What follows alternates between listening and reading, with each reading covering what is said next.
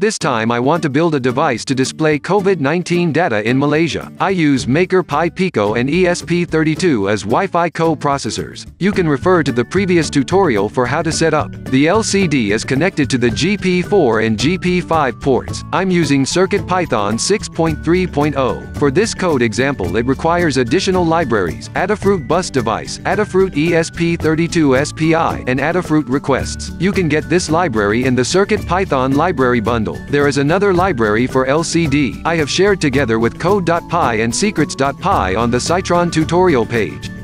You need to edit secrets file and replace this part with your Wi-Fi name and password. Save to run the program. This code will get the COVID-19 data from this API and display it on the LCD. However, the latest data is only available after a day. That's all for today. Please like and subscribe. Thank you.